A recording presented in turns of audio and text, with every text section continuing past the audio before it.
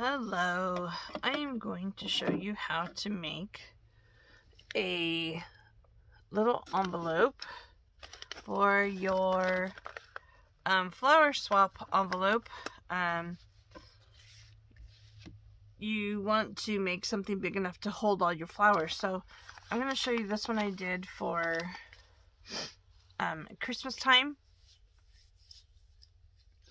Um, I did this one um, this one I actually did out of, um, not out of legal paper, like the legal size paper. So it's a lot bigger. So you can use bigger paper, just so you know. Um, if you don't have bigger paper, um, you can use three pieces of copy paper to make it longer. But there's a big pocket there. Of course, I used coffee dyed paper. Um, I actually sewed this one. I attempted sewing. Um, and then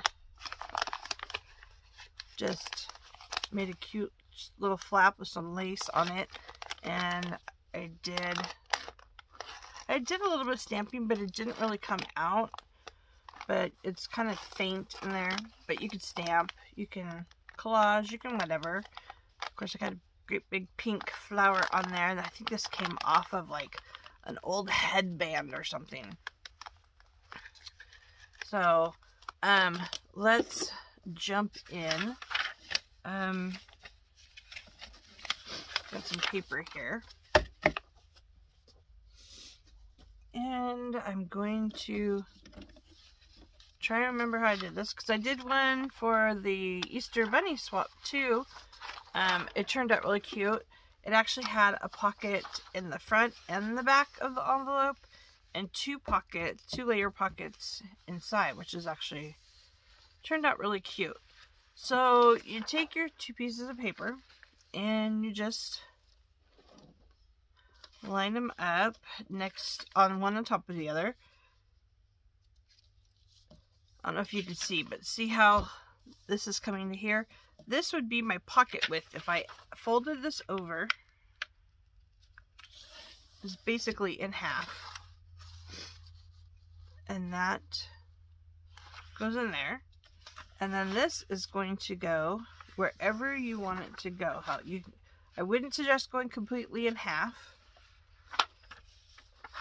But maybe half of a half. If that makes sense. So now you have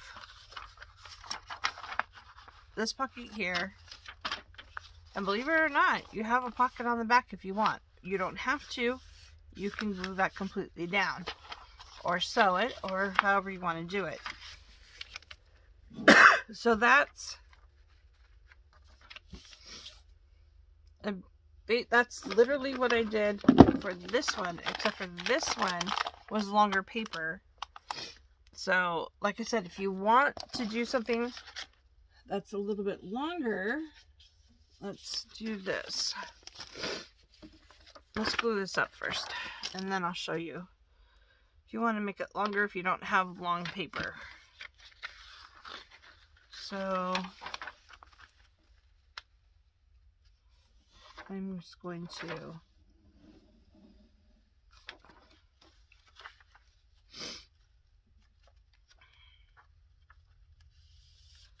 bring up the side.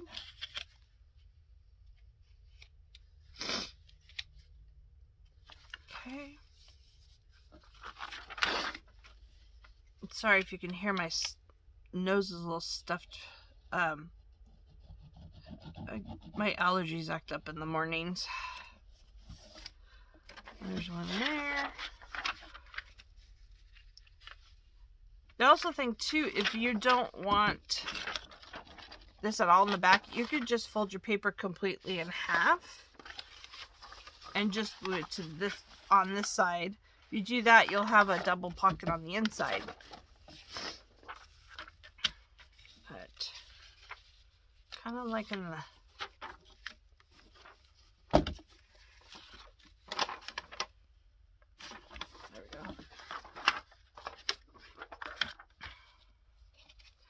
other thing I do is I go ahead and put a strip down there of glue.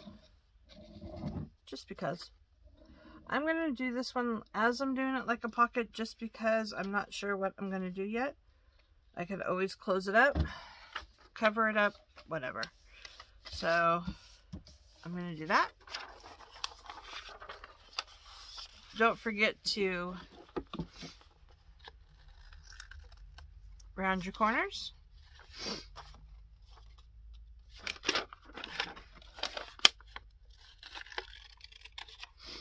I heard somebody the other day say, if you have a hard time rounding your corners, grab a, a nickel, a penny, um, a quarter, depending on the size, and just stick it on there and follow around. Thought that was a good suggestion. Okay. So there is my envelope that I could put all kinds of goodies in and I can decorate. Um, simple, fast, easy. Let's try. So if we wanted to make one that was longer,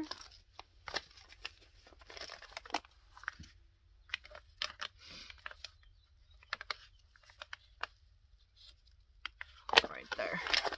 What we're going to do is we're going to, after I get it lined up, of course I'm going to move it. We're going to make a longer sheet of paper.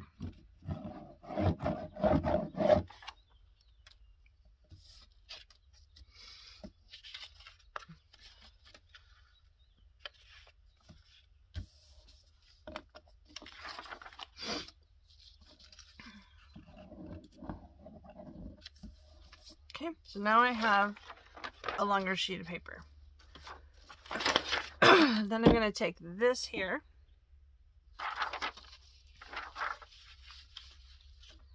And I am going to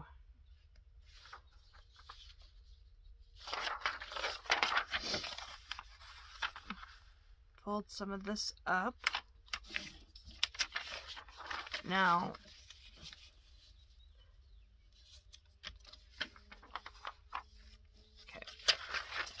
want to figure out. Okay, there we go. Okay, so you, this is about the size I want my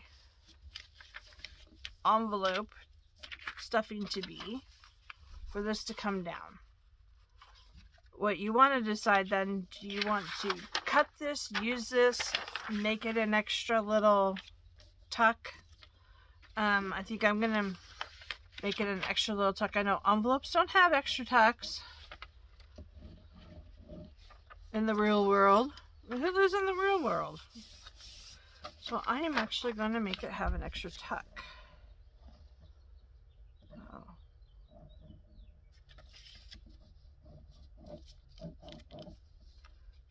And the nicer thing about the pockets that are a little deeper, you can come in with your glue on the bottom and on the sides a little bit more just to make sure it sticks completely. And then we're going to arrange that piece of paper on top of the other one. Having our envelope there and that there. And then we're going to take this and we're going to fold this over and where I've made this little extra pocket, it folds right over the top of that.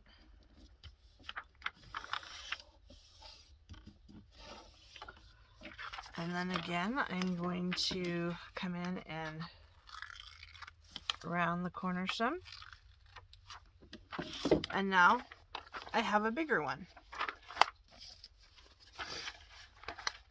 If you actually have legal size paper, you don't have to obviously make your paper longer. You would just fold it the same way that we folded the little one to make your pocket. The other thing you can do is you can come in, if you feel this is too high, you can fold this down, if I can get, pulled back some. You can fold this down like that, or you can use um, your circle punch and give it a little notch in there. It's your envelope. It's your world. You can do it any way you want. So those are, I know it's probably hard to see white on white, but there is a pocket there and a pocket there and the flap solid on the back. This is a smaller one, flap, pocket, pocket on the back. That's my little envelope tutorial. Um, it's actually very easy. Um, of course, you can coffee, use coffee dyed paper. You can spray it after you make it with coffee. You can spray it with glimmer mist. You can leave it white and ink it. You can leave it white and do whatever you want. You can, don't even have to use white. You can use purple paper, pink paper, blue paper, whatever you decide you want to use, that's what you can use. Um, if you want me to see me decorate these, leave a comment below and I will make a video on decorating them because um, I have to decorate it anyways. So just let me know. I hope you enjoyed this short little video. Talk to you later.